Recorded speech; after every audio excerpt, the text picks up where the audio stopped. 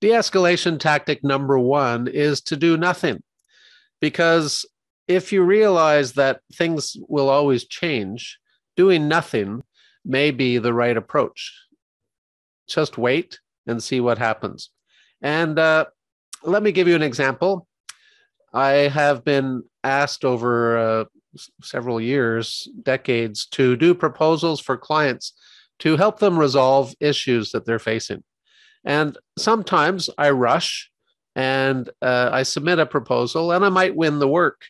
But what I realize is sometimes when I rush, I don't do as good a proposal or outline as I would do if I took more time. So, for example, I did one recently and sent it in with a week's notice as promised.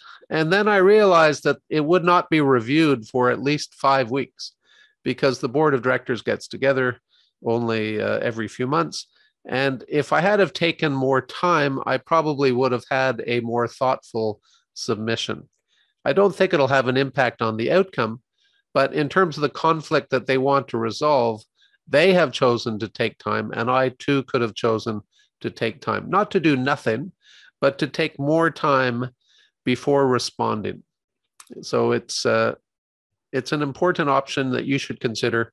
This is what we call de-escalation tactic number one. Stay tuned for other tactics, which we hope you'll find also equally useful.